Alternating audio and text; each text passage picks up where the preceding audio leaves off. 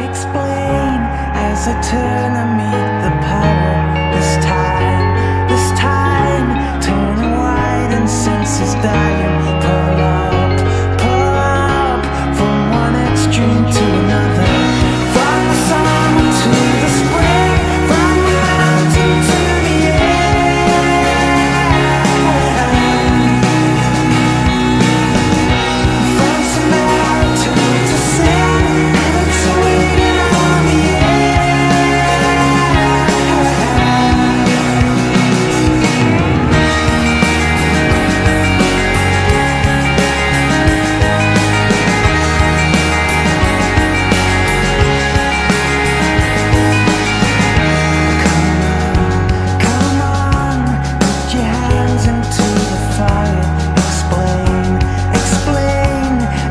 time